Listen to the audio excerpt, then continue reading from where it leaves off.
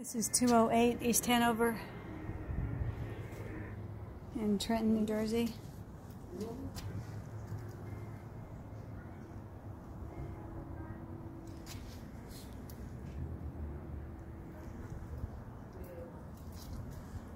It's a counterweighted ladder, but somebody's added a hook.